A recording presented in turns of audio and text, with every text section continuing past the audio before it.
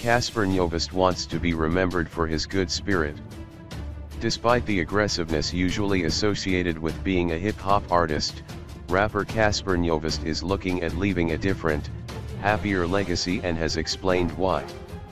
The rapper, who randomly takes to Twitter to share his life aspirations said he didn't want to fall victim to this evil world. I don't wanna fall victim to this evil world. People provoke me and push me every day but I will fight it. I want to be remembered as a good spirit. I actually think it's mad cool to be a happy guy and make people laugh and dance instead of intimidating everyone or shitting on them. Cassper said he had realized that if one is not careful, the world was fully capable of changing you.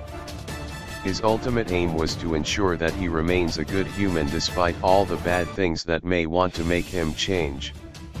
As Cass interacted with fans and made it clear that he wasn't about violence or conflicts, once a Pian asked him why he was so determined to pack on them muscles if he wasn't going to use them.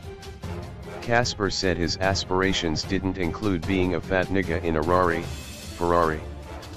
Health is wealth. This the type of SH asterisk T success introduced me to. Don't wanna be a fat nigga in a Rari. I wanna be as sexy as my car. I wanna live longer and stronger. It's not about beating people up. Don't like hurting people.